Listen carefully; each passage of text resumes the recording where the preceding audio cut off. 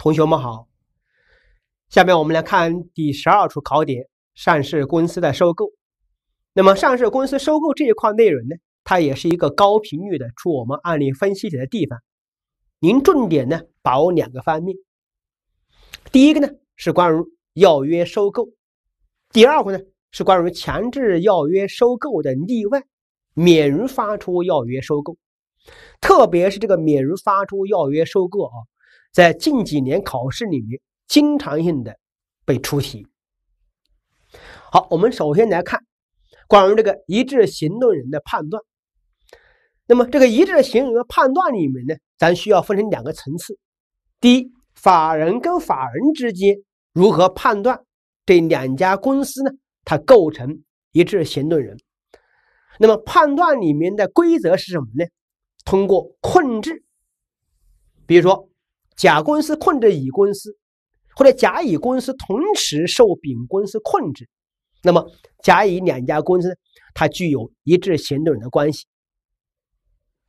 第二个，通过董监高的关联，就是我们在基础班里面所讲的，它属于我们一套人马两套班子，背后的董监高是同一波人。第三个，通过。合伙合作联营来判断。第四个，通过融资，当然银行除外啊。如果投资者呢给我们收购人呢，他提供融资的话，那就表明这两者之间呢，它具有什么呢？具有一致行动的关系。这第一个，法人跟法人之间；第二个，法人和单位之间如何来判断？构成这个一致行动人的关系。那第一个，这个人持有法人证持股呢，在百分之三十以上。第二个，个人在法人这个公司里面担任董监高。第三个，个人是我们这个持股百分之三十以上或者董监高的近亲属。这个近亲属的范围呢是特别广泛的，包括大量的姻亲都是。当然，除此之外啊。还有一些情形，也能够判断个人跟法人之间它构成一致行动的关系。比如说，A 是上市公司，甲是我们上市公司里面董监高，那么甲所控制的 B 公司，他们之间呢就是一致行动人的关系，或者说。甲是我们上市公司董监高，上市公司所控制的 B 公司呢，跟我们甲之间，它也是具有一致行动人的关系。如果判断两个不同主体构成一致行动人关系的话，那么这两者所持有该上市公司的股份呢，咱们需要合并来计算。这个合并计算我们持股权益的话，是有作用的，作用表现在两个方面。第一个，咱们前面讲过，收购人持股权益的披露的话，你达到或者超过了百分之五，从事实发生之日起，或者我们协议达成之日起，三日内，他需要履行我们书面报告、通知和对外公告的义务，是不是啊？所以跟这个百分之五的持股比例呢，可以相结合。第二个，跟我们这儿里面要约收购持股超过百分之三十呢。可以相结合，这里面我们所讲的持有上市公司的股份超过百分之三十，既强调我们投资者，也包括跟他具有一致行动关系的一致行动人的持股比例，是合并来计算的。这是关于第一个一致行动人的判断问题。那么第二个，免于发出要约收购这一块里面，我们重点来强调六种情形。第一。上市公司面临严重的财务困难，收购人提出挽救上市公司的重组方案，首先要取得该上市公司股东大会的批准。第二个，收购人自己承诺在三年内他不得转让所持有该上市公司里面的股份权益，满足这两条的话，那收购人就会免于发出要约收购。这处知识点呢，在我们二一年的考试题目里面就出现了大题，而且这一块知识点呢，可以如我们的重大资产重组，甚至可以与我们的借壳上市相结合。第二个方面，是上市公司账里面，它做出了减资，从股市上回购股份，从而导致我们投资者呢所持有上市公司的股份权益呢，它超过了百分之三十。那我们前面讲到减资回购公司股份里面就说过，跟这个免如发出要约收购呢相结合，这是躺着赚钱哦。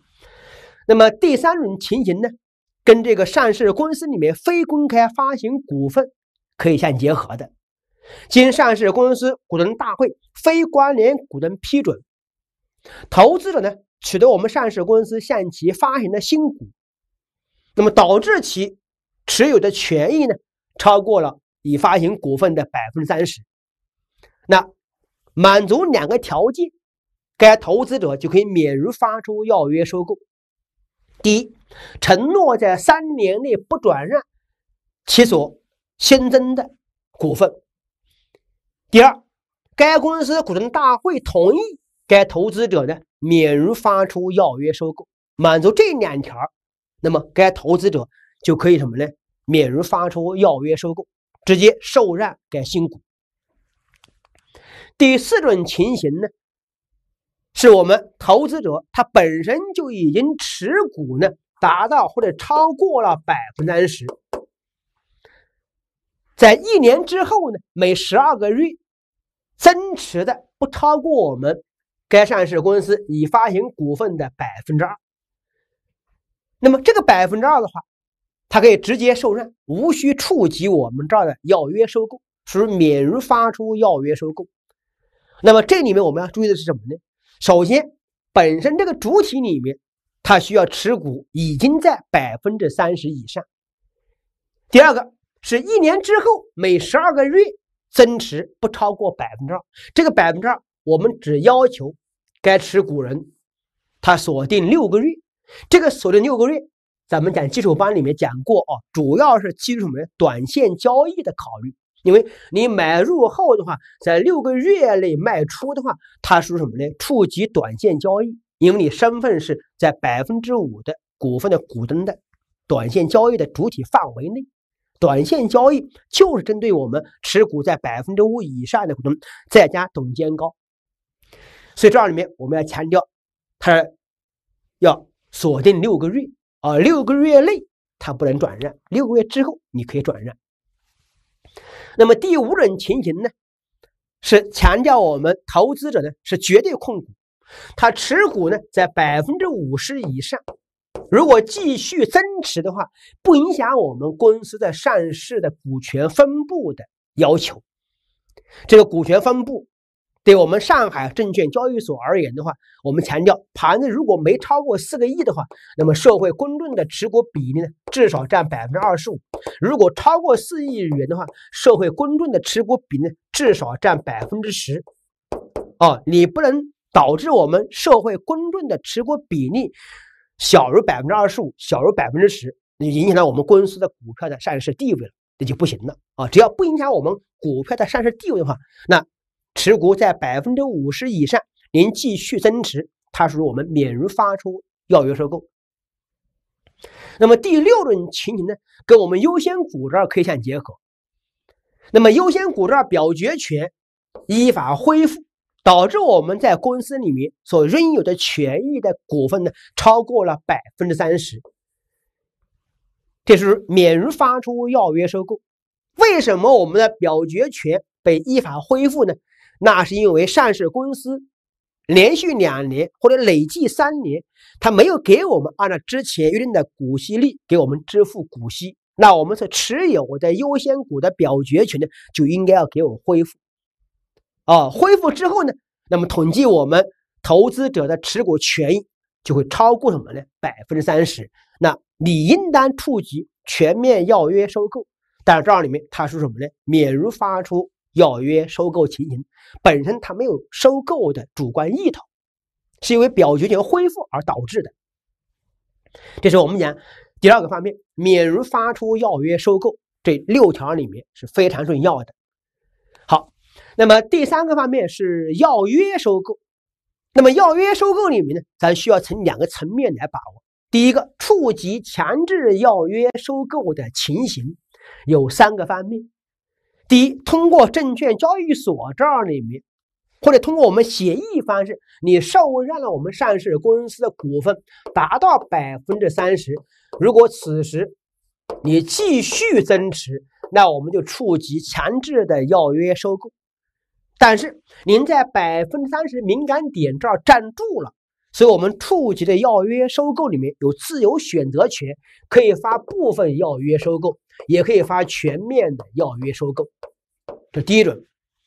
第二，如果通过协议方式收购，你获得上市公司的股份呢超过了百分之三十，那我们说对超过的部分的话，应该改为以要约方式，而且我们说这里面是触及全面的要约收购，除非。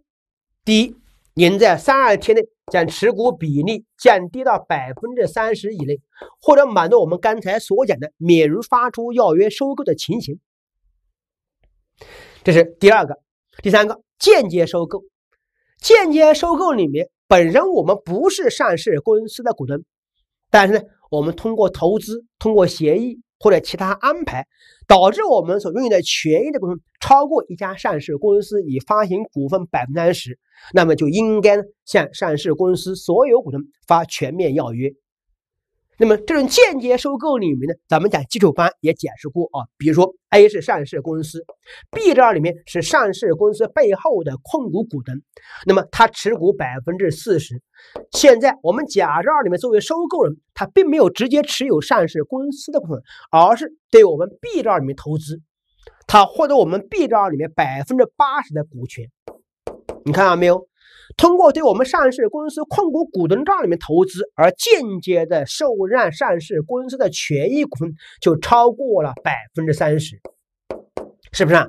那表明甲也取得我们 A 这上市公司的控制权，因为你持有的权益导致我们的表决权超过百分之三十，这也证明什么呢？甲取得上市公司的控制权，它构成我们的间接收购。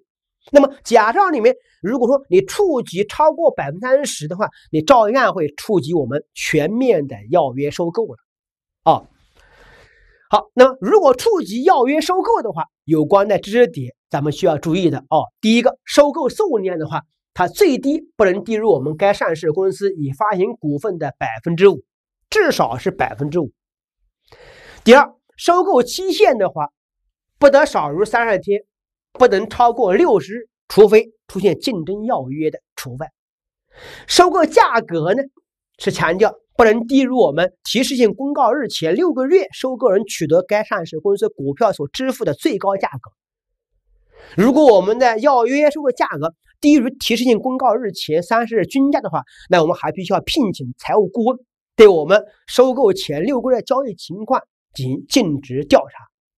看看我们在收购之前的股票价格有没有被操纵过，这个要约价格它是否合理？这是第三个收购的价格。第四个是关于收购人的义务，收购人义务这一块里面，重点是要关注这三个不得。第一，在要约收购的承诺期限内，收购人不能撤销。第二个。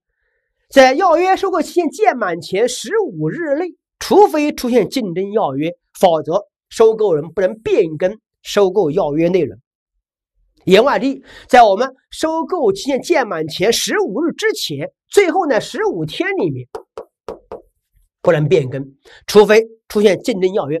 在十五日之前，你可以变更，但这种变更哦，我们强调什么呢？你做正的变更可以。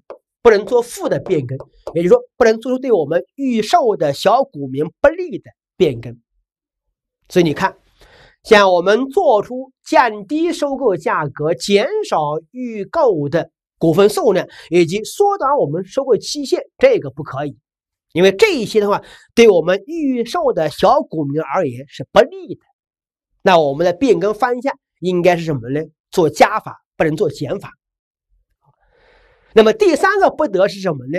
在我们收购期限里面，收购人他不得卖出，也不能采取我们要约之外其他的方式来收购我们该上市公司的股票。这就强调什么呢？要约收购，它是一种公开的，对我们所有的股东是公平的进行。哦，这是关于这个收购人这儿义务里面。当然，收购如果完成之后的话，咱们也说过哦，在十八个月内它不能转让，除非是在同一个实际控制人控制的不同主体之间，它可以不受十八个月的转让限制，但是它也受我们短线交易的限制。好，那除此之外，对于我们这个被收购公司而言，它也有要求。第一，被收购公司的董事在要约收购期间，董事不能辞职。这个董事包含独立董事哦，也不得辞职。第二个，被收购公司的董事会呢有两个义务：第一，董事会它不得通过处置公司资产、对外投资、调整公司主要业务、担保、贷款等方式对公司的资产负债权益或者经营成果造成重大影响，除非它经过了股东大会批准。否则，董事会不能从事我们这些重大的资产处理。第二个，那么被收公司董事会呢，在我们收购人公告要约收购报告书之后二十日内，应当将我们这个董事会报告与我们独立财务顾问的专业意见呢，报送我们中国证监会、超盛证券交易所，并对外予以公告。这个二十日的话，咱们过去也考过案例分析题。那么第三个方面，对预售的小股东而言，我们强调啊，在要约收购期限届满前三个交易日内，就前三个交易日内，那么预售的股东他不得做出撤回，在三个交易日之前，你可以反悔。所以你看啊，三个交易日前的话，你可以委托我们证券公司办理撤回，当然。在我们期限届满前的三个交易日内，最后呢三个交易日的话，你不得撤回，因为收购人都已经开始准备钱款来办理我们股权的受让手续了。啊，好，关于协议收购的话，一八年也考过我们的案例分析题。那么协议收购这一块里面，咱们需要注意的是什么呢？在过渡期里面，收购人呢？和相关主体有三个不得要求：第一，收购人不得改选董事会。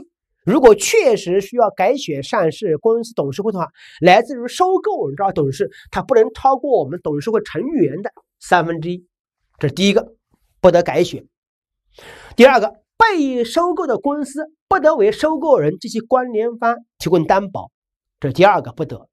第三个，被收公司不得公开发行股份、募集资金，不得进行重大的资产投资或者处置行为，以及与我们收购人及关联方进行其他关联交易的，除非是什么呢？除非是存在我们账里面重大资产重组的，去挽救上市公司这种情形除外的。好，我们来看一个例题，这是二零一八年考的案例分析题。说林森木业呢是在我们深深圳的证券交易所这儿挂牌的上市公司。说林木集团呢是我们林森木业的控股股东，持股比呢百分之四十五。首先我们要搞清楚啊，林森木业它是上市公司，这个林木集团呢是我们上市公司这儿里面控股股东，持股呢百分之四十五。他告诉您，二零一六年十月二十七号，人民法院裁定受理了铃木集团这儿破产重整申请。说，二零一七年五月，铃木集团第一股东赵某跟新民投资开始进行实质性的磋商，由新民投资呢向铃木集团以注资的方式参与重整。那么，二零一七年九月十八号，新民投资。与我们这个铃木与赵某呢等铃木集团的股东签署了我们重组框架协议。九月二十号，林森木业呢对该重组框架协议签订事宜对外予以公告。那我们来看，首先，上市公司的控股股东账里面出现我们这个破产重整的情形，对上市公司的业绩呢也是有重大影响。这就构成我们上市公司里面重大的事件，它需要对外发布临时的报告。那么重大事件里面，我们一般情况下啊，是以以下三个时间点最先发生之日起两个交易日内对外进行披露，是不是啊？以下三个时间点分别是什么呢？董事会或者监事会就重大事件形成决议时，有关各方签署协议时，以及董监高知悉该重大事件时。那么本案里面是考什么呢？签署协议时，九月十八号签署协议，九月二十号对外发布了公告，这可不可以？可以呀，是不是啊？那么最先发生之日起两个交易日内对外进行公布，没有问题啊。那么第二个是什么呢？既然这是一个重大事件，那跟我们的内幕交易就有关系。为什么呢？因为重大事件必然是内幕信息。那我们这个内幕信息自什么时候开始形成呢？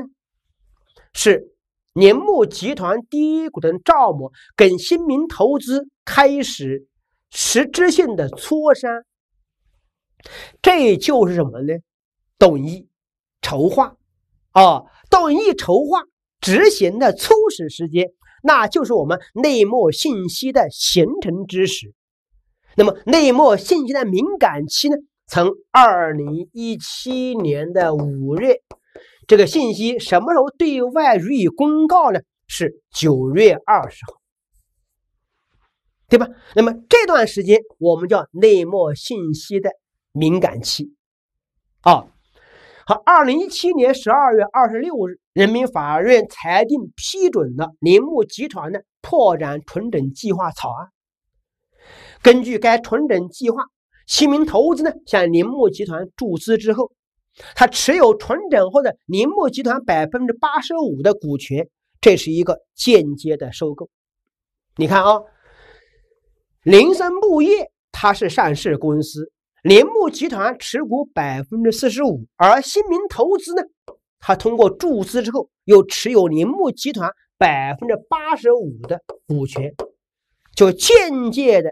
持有我们上市公司的股份权益超过了百分之三十，你把百分之四十五乘上一个百分之八十五，你算一下，肯定是超过了百分之三十，对不对？那么你通过这样一个收购，能取得我们上市公司所拥有表决权超过了百分之三十，就构成对上市公司的收购，只是它是一个间接收购而已。同时，也触及什么呢？也触及我们全面的要约收购，因为你持有的股份权益超过了百分之三十这个敏感点。哦，说二零一八年二月十二号，新民投资公布了要约收购报告书摘要。二月十二号是做提示性公告，啊，公布我们摘要，向林森木业除铃木集团以外的所有股东。发出收购其全部无限售的流通股的要约，这是发全面要约，没问题。那么，林森木业发布的要约收购报告摘要里面的提示性公告显示，此次要约收购有效期从二零一八年二月十四号到二零一八年四月十号。那二月十四号是我们要约公告的时间，那么至少应该给我们投资者三十天。最长不超过六十天的要约收购期限，二月十四号到四月十号没关系，它符合我们账里面收购期限的要求。说预定的收购股份的数量为六亿股，收购价格呢为每股九点七七元。那我们来看一下这个收购价格它是否合法？他告诉我们，提示性公告日前六个月，新民投资没有买入过林森木业任何股票。那言外之意。收购人之前没买过，因为我们这里面收的价格是强调不低于提示性公告日前六个月收购人所购买过该上市公司股票的最高价格，他之前没买过。那我们来看一下提示性公告前三十日均价，他告诉你，二月十二号前三十日交易里面，林森木业每日加权平均价格的算出平均值呢是每股九点七六元。那表明我们的收购价格并没有低于什么呢？前三十日均价问题。如果低于了我们前三十日均价，那我们的收购人还要聘请财务顾问做尽职调查，看看我们的价格有没有被操纵过，我们的收购价格是否合理。但这里面我们的价格是没有问题的。哦，说二零一八年三月，林森木业的独立董事钱某因个人健康原因向董事会提出了辞职。这个三月，它可是在我们要约收购期限内的。你看，二月十四号到四月十号，在要约收购期限内的话，董事他不得辞职。董事就包含我们这儿里面独立董事啊，所以这个辞职呢是不合法的。说二零一八年四月九号，林森木业董事会发布了我们致全体股东的报告书，对股东这儿是否接受我们新民投资的要约提出了建议。那么，董事会对外发布这个报告书，董事会报告书包括我们财务顾问里面专业意见的话，我们是强调自我们要约公告后的二十日内对外发布。你要约公告的话是二月十四号。对吧？那么我们这儿四月九号很明显就超出了我们这个二十，所以这个发布的董事会报告书它不符合我们法定的期限要求。我们看后面的，说持有宁森木业股票的孙某呢，于二零一八年三月三十号，五十级开户的证券公司办理接受我们签署收购要约的预售手续，这是考我们预售股东账里面的。说四月九号孙某反悔了啊，那么。并委托我们证券公司撤回该预售。四月九号，他是否在我们要约收购期限届满前的三个交易日内？是的，因为要约收购的期限届满日是四月十号，对吧？那么三个交易日的话是往前数三个交易日，所以四月九号呢，在我们要约收购期限届满前的三个交易日内，那么这里面是不得撤回预售的。所以这个里面孙某的行为是不合法的。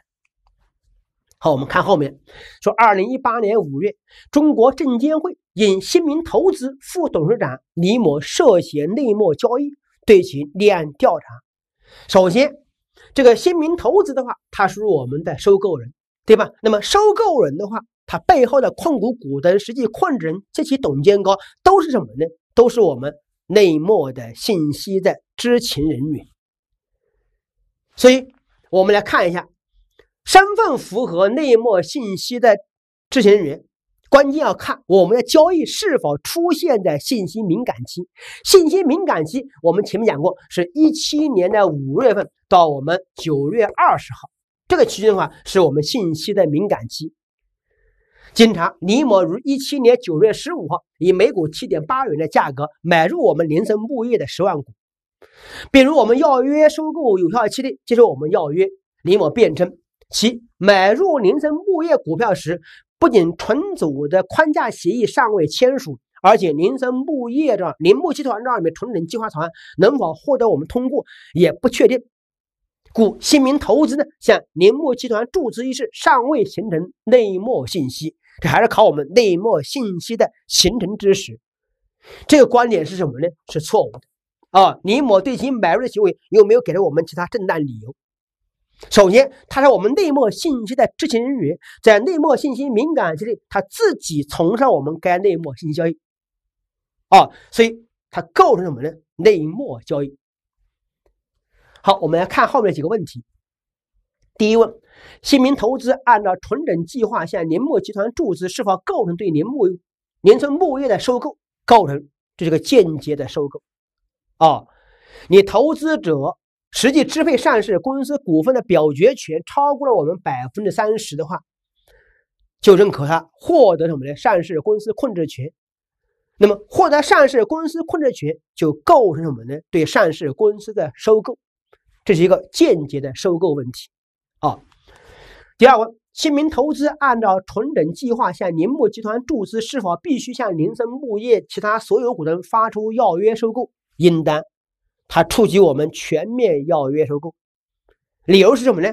是收购人虽然不是上市公司股东，但通过投资关系协议其他安排，导致我们所拥有的权益股份超过了我们一家上市公司已发行股份的百分之三十，应当该向该公司里面所有股东发全面要约收购。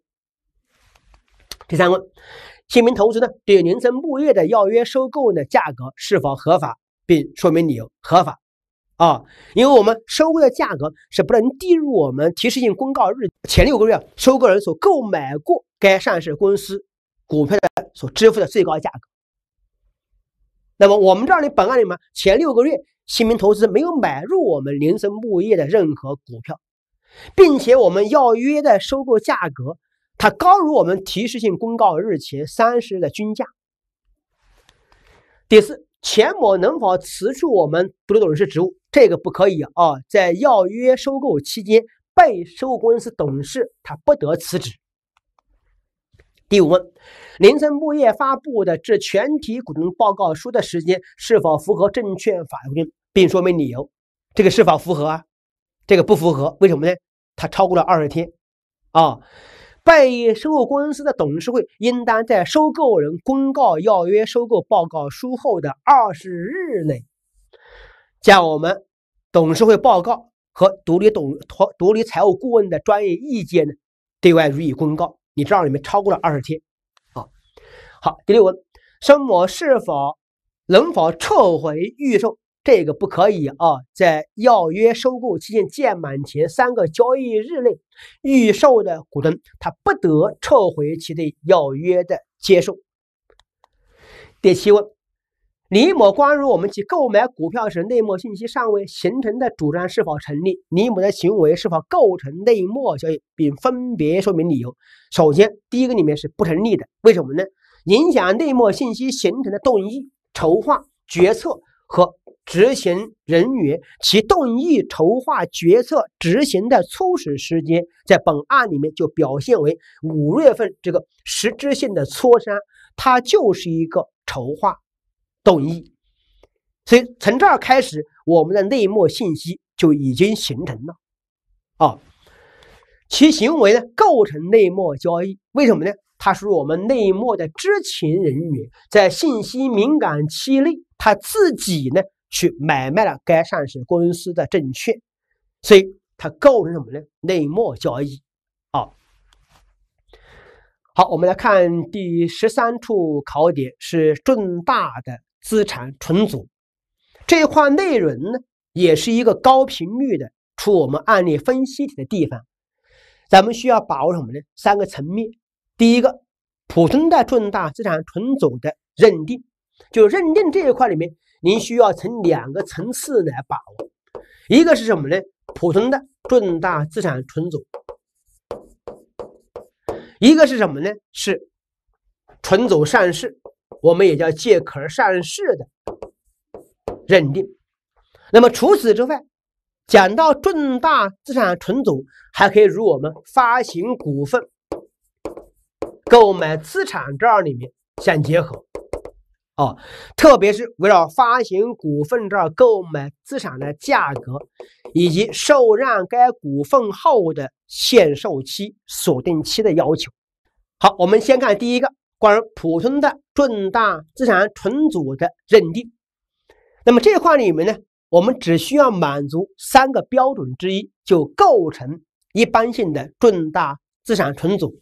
这三个标准分别是什么呢？第一是资产总额，第二个是营业收入，第三个指标是资产净额。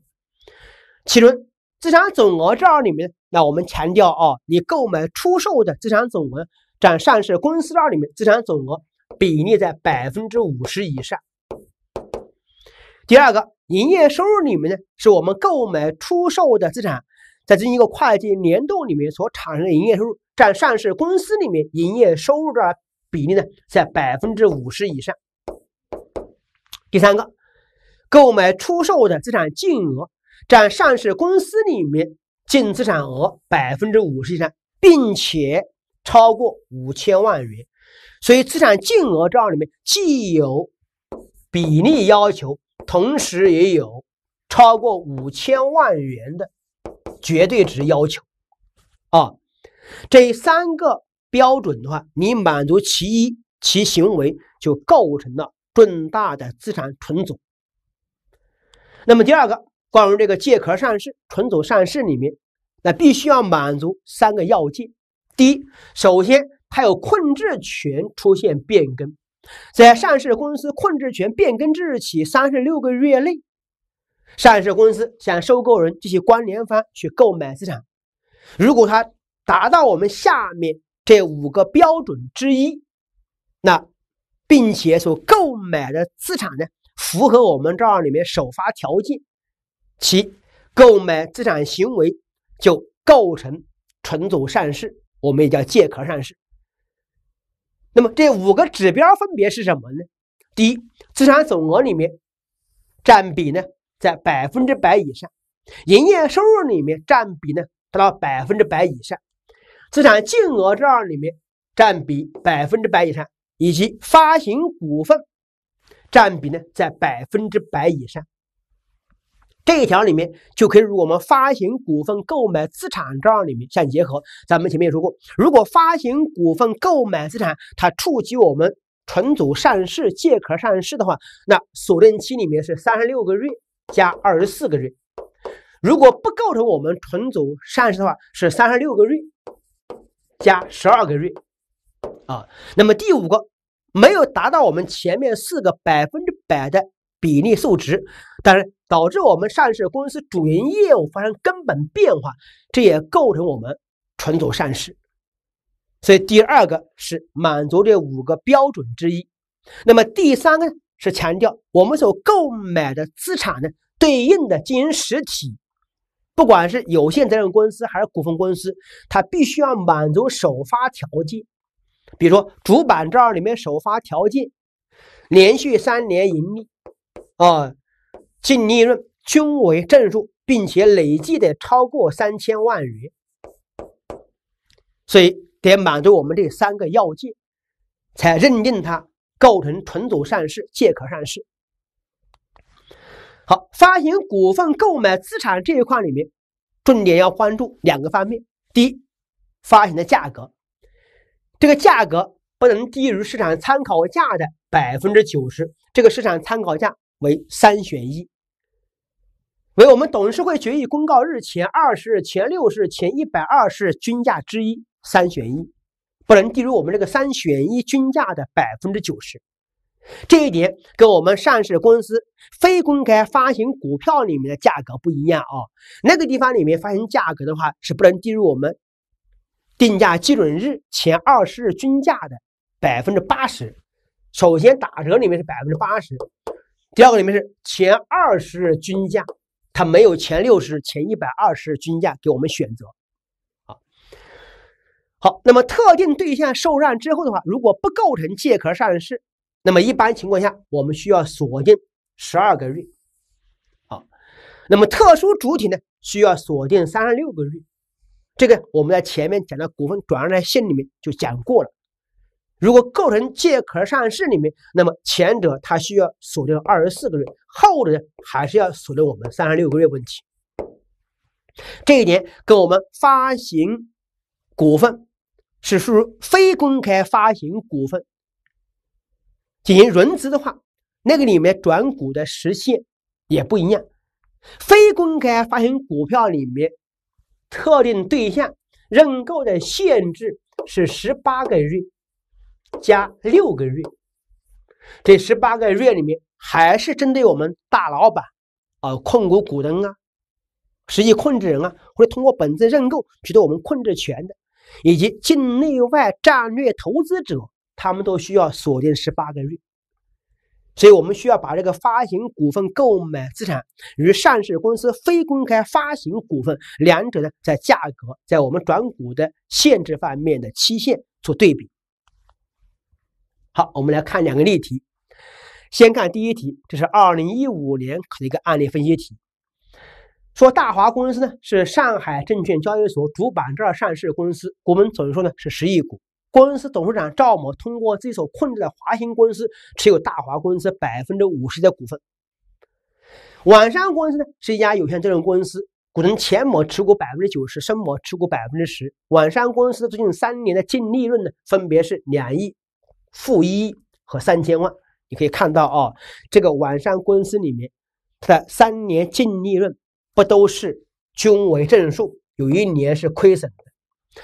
虽然它合起来呢是超过了三千万，所以如果上市公司对网商公司进行购买资产，就难以构成什么呢？借壳上市、重组上市。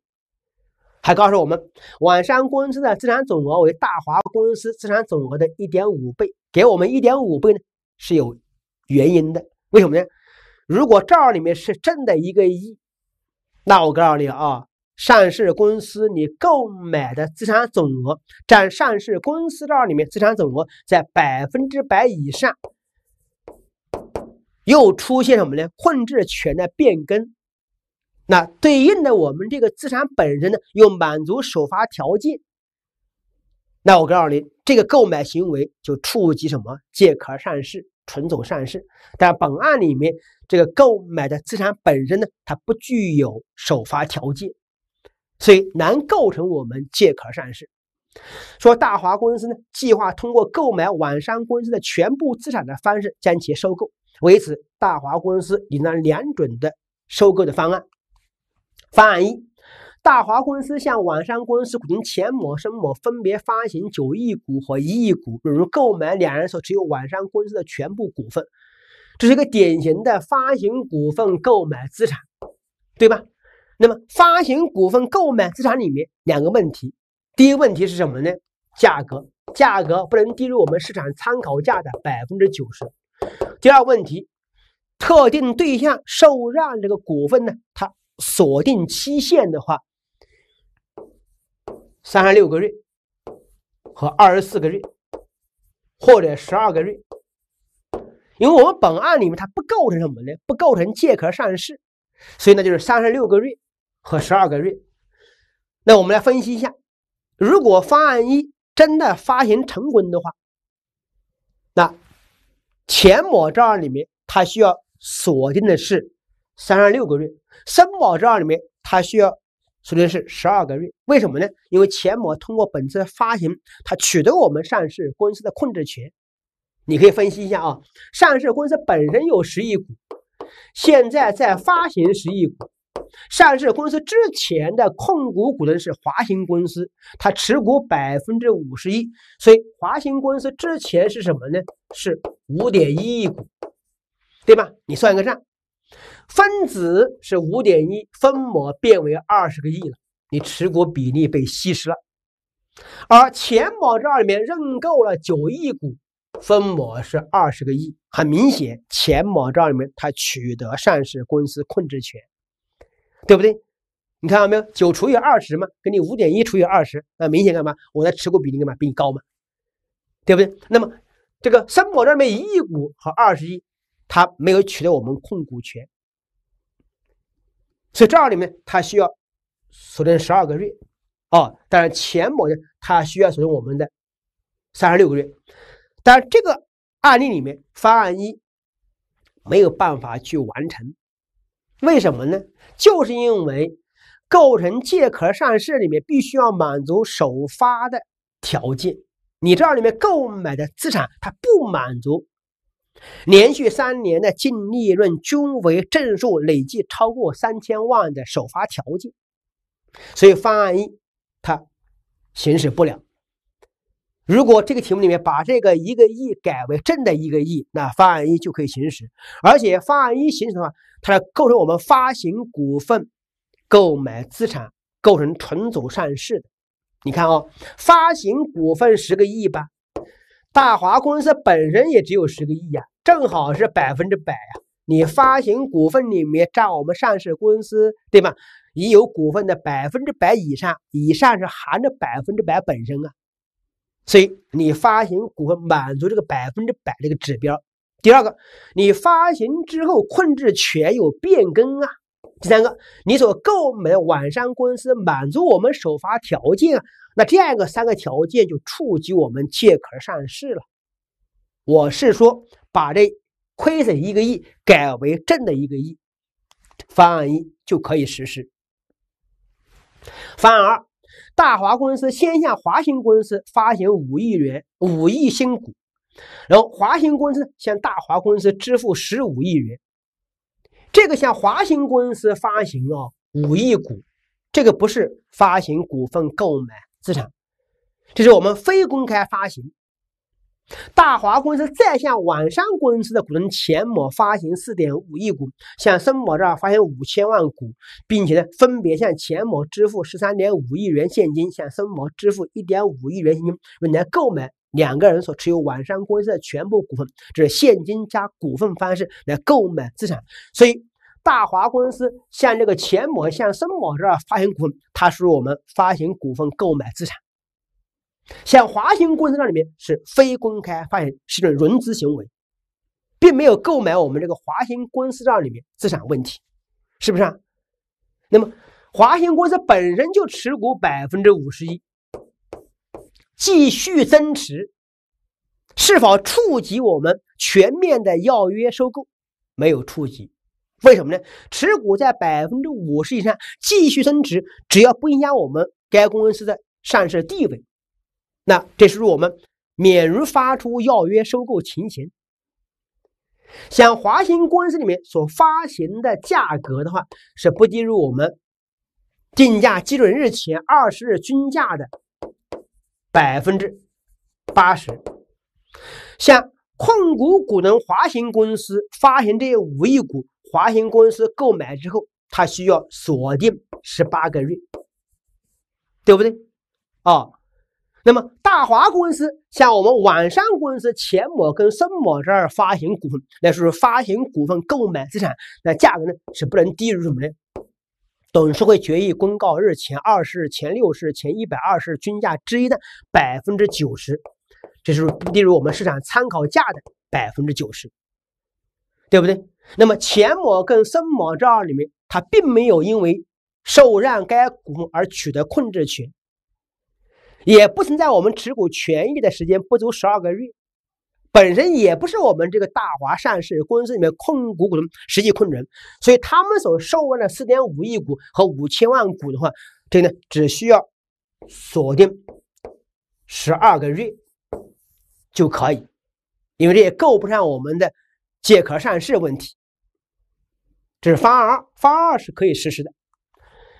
说李某是大华公司的股东，持有大华公司五百万股的股份，持股期限呢超过一百八十天。在大华公司资产重组的股东会议上面，那么李某认为该次重组将会对我们公司呢重大不利影响，对此他提出了异议。在之后的表决时呢，李某投赞成票，就是呢股东大会决议实施方案二。方案实施之后呢，大华公司的股价大幅下跌。李某要求公司以合理价格来收购其所持有公司的股份，被公司拒绝。那我们来先看一下啊，股份公司里面，比如股东大会表决是合并的，是分立的，仅限于这两件事啊。您投反对票的，事后可以请求公司以合理价格来回购。但本案里面你可以看到，第一情形不是我们合并分立，而是。重大资产重组。第二，就算是合并分立，您呢是投了赞成票，也谈不上，是不是啊？所以，不管是从我们情形，从我们这个投票来看，李某这儿请求公司以合理价格来回购其股份的话，都是不合法的。说李某呢有书面向大华公司监事会请求对公司董事长赵某去起诉，起诉赵某，当然我们公司董事长期间未尽到相应的义务。其行为给公司造成重大的损失，监事会对李某的请求未予理睬。随后，李某呢向人民法院去起诉，呃，提起我们股东代表诉讼，同时对赵某的妻呢提起了控诉，认为他买卖大华公司股票的行为构成内幕交易。你看，话锋一转，跟股东代表诉讼相结合。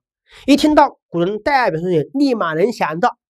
门槛是持股一百八十天以上，并且持股比例在百分之一以上。本案里面持股期限超过了一百八十天，但是你十亿股里面，李某只持有五百万，五百万什么概念？只有百分之零点五啊，百分之零点五它不足百分之一啊，你门槛不够啊，对不对？所以你没资格去提起股东代表诉讼啊。哦，好，我们来看后面的内幕交易问题。说据查。五月十号，赵某妻子将其所持有的股票全部卖出，亏损五十万元，并全部买入大华公司股票。五月十二号，大华公司对外公布了重大资产重组的信息。那我们先看一下内幕交易的信息的形成时间。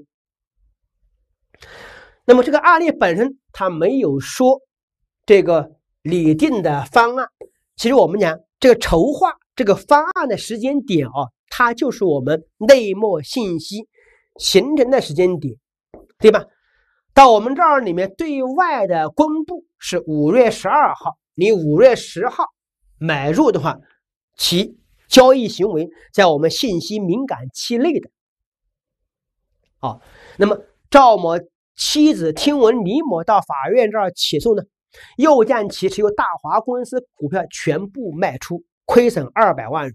你看之前卖股票亏损五十万。全部买入大华之后，又把大华公司股票卖了，心虚嘛，亏损二百万啊！这个女人呢，她就是二百加五十，你懂的。好，所以其妻子行为是否构成内幕交易？构成？为什么呢？你可以看到啊，首先，他是我们内幕信息人员的近亲属，因为赵某是董事长啊，他是内幕知情人员啊。他妻子是什么呢？是配偶、子女、父母、近亲属啊。那么这些人的话，他如果说在我们内幕的信息敏感期里面，他们去有交易行为的，哦，甭管是我们赵某泄露我们这个信息，其妻子呢得知后，在我们内幕信息敏感期内从事我们内幕的交易，并且交易明显异常，你看到没有？年口亏损，卖出别的股票，买入我们大华公司股票，是不是啊？没有正当的信息来源或正当理由的，其交易呢就构成了什么内幕交易？好，我们来看几个问题。先第一个问题，方案一是否构成大华公司控股情况发生改变？咱们刚才算过了吧？股权分母变为二十。华兴公司五点一，钱某是占九个亿，所以控制权出现了什么变更？你自己算一下就可以了啊。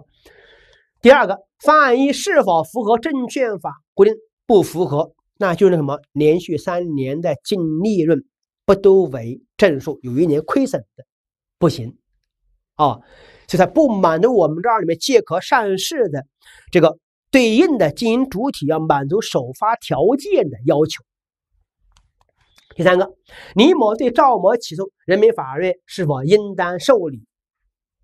是否受理啊？这个法院不受理，为什么呢？他持股账里面比例，他只有百分之零点五，没有达到我们百分之一啊。第四个，李某要求回购公司股份的请求能否获得人民法院的支持？这个法院不予支持。第一个，它本身这儿里面呢不满足我们的情形，仅限于合并分立。第二，在我们表决时呢，他投了赞成票，是不是啊？甭管从我们的表决还是我们的情形来看，都不满足我们这异议股东回购请求权的资格。第五问，根据方案二。分析华兴公司是否应该向大华公司所有的剩余股东发出要约收购？这个不需要，为什么呢？华兴公司本身就持股百分之五十以上，它属于绝对控股，继续增持，只要不影响我们该公司的上市地位的话，它属于我们免于发出要约的情形。第六问，照我们的妻子行为是否构成内幕交易？构成啊。内幕知情人员的配偶、父母、子女以及其他有密切关系的人员，在信息敏感期里面从事与我们该信息有关的证券交易，相关交易行为明显异常，并且没有正当理由、无正当信息来源的，构成我们内幕交易。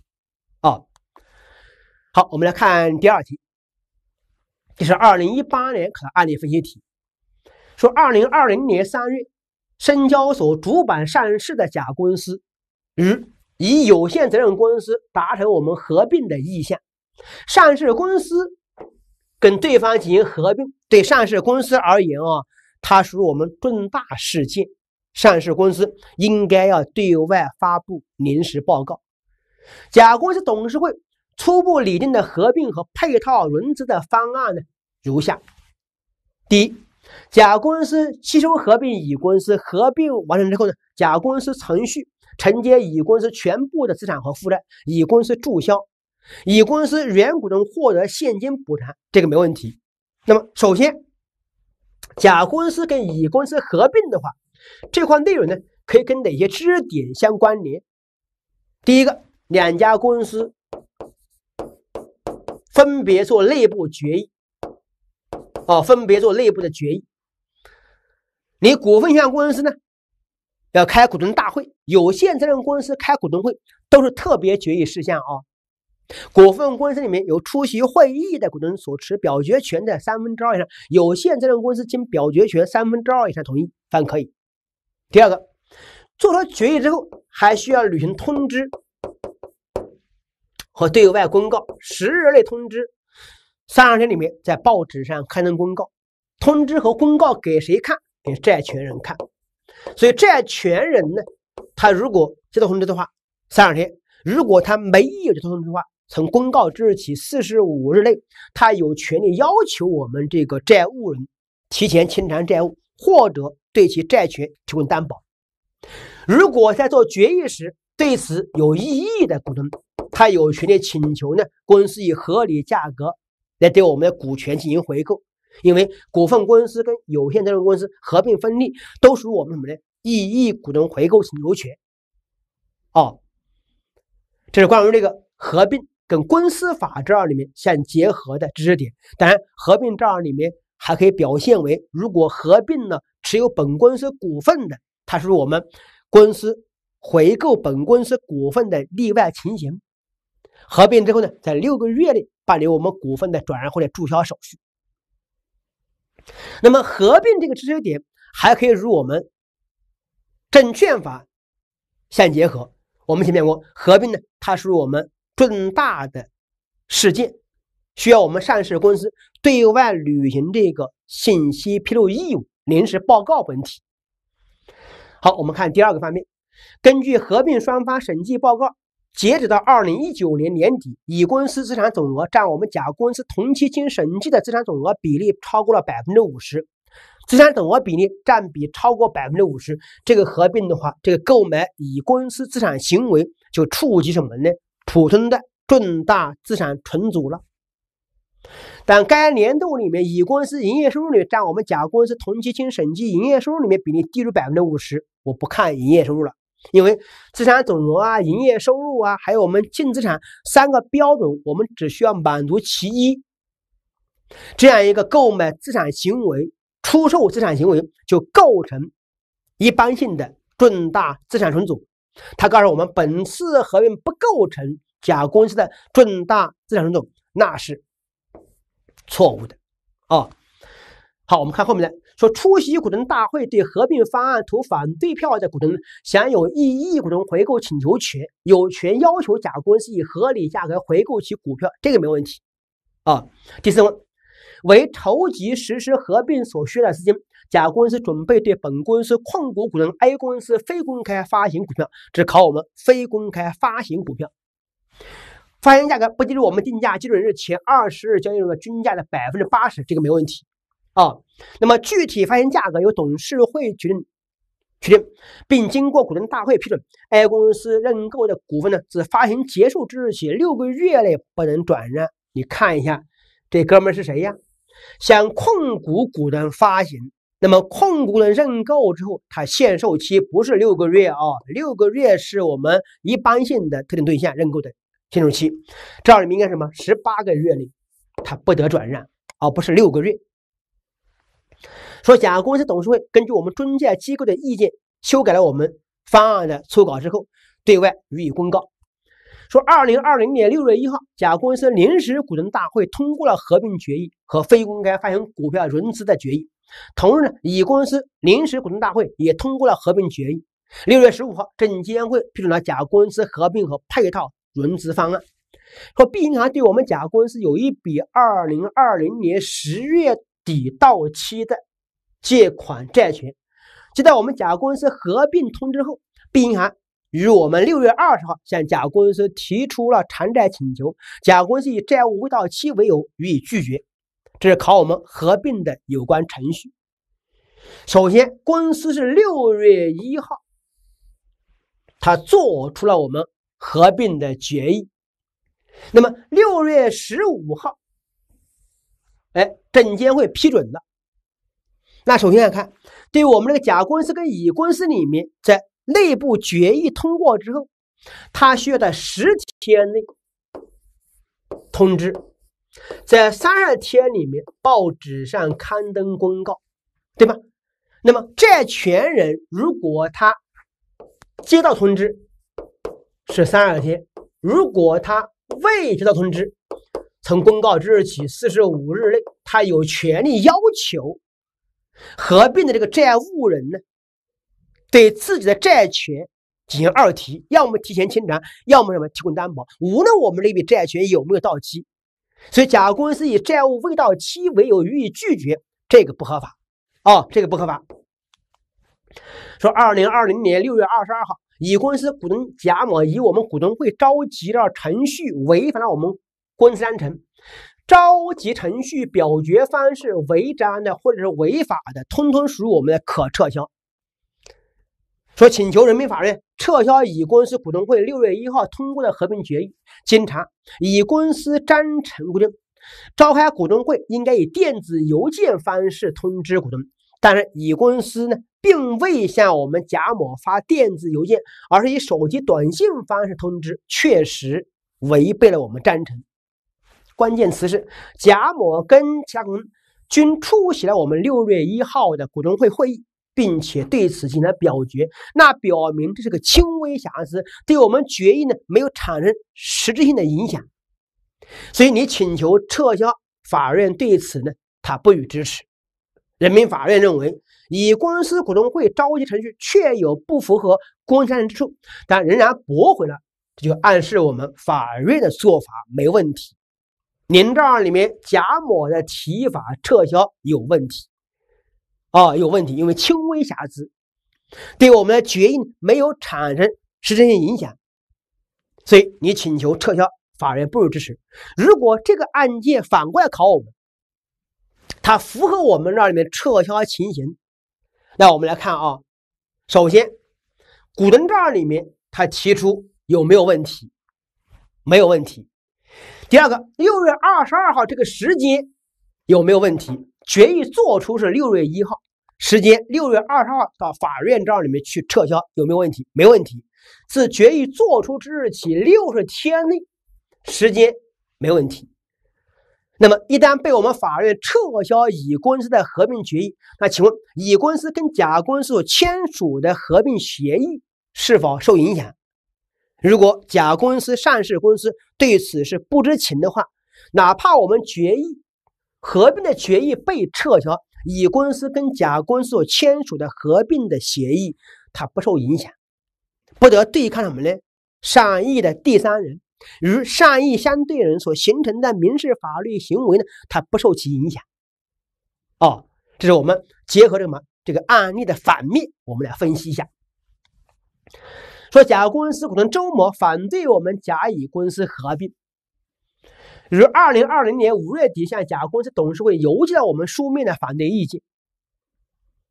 但周某并未出席甲公司六月一号召开的临时股东大会。也未委托他人表决。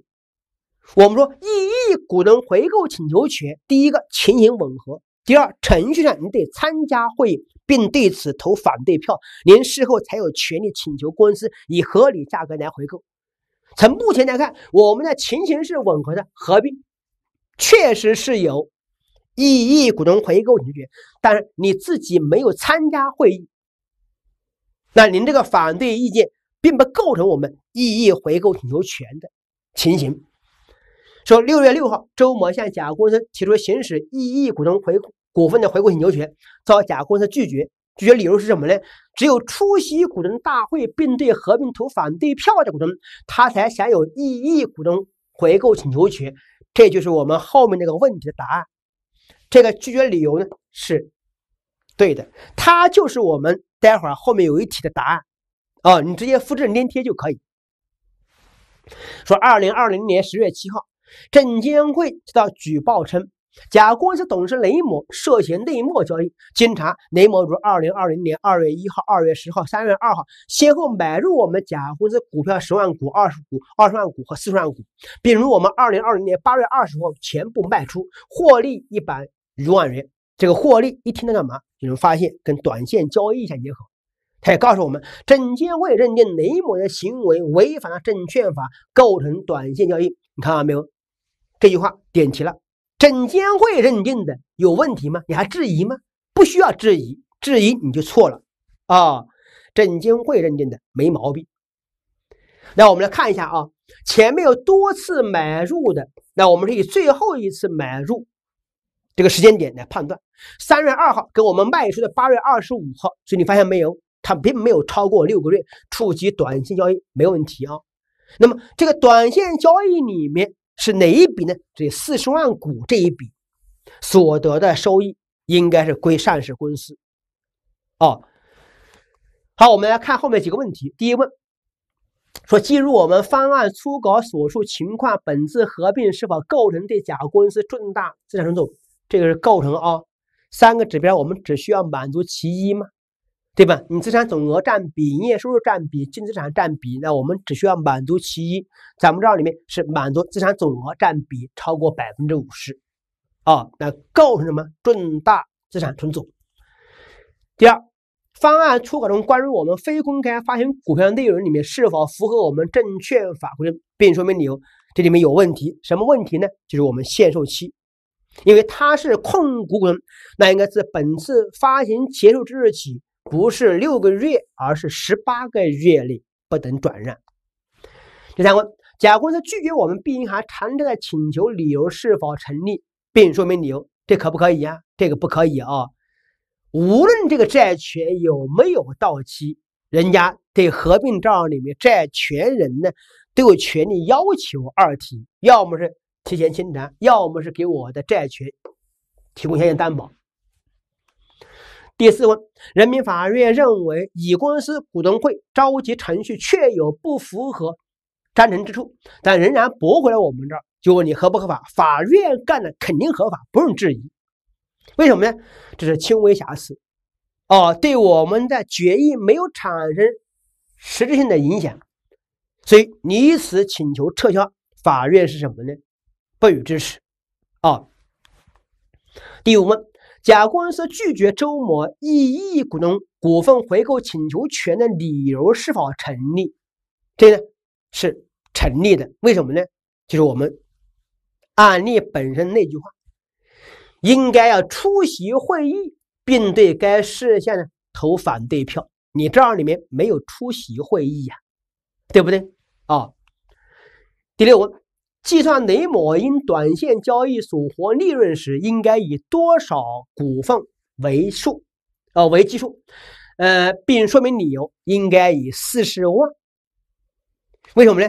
你买入后六个月的卖出，这个买入的时间点呢？我们是以最后一笔买入的时间点。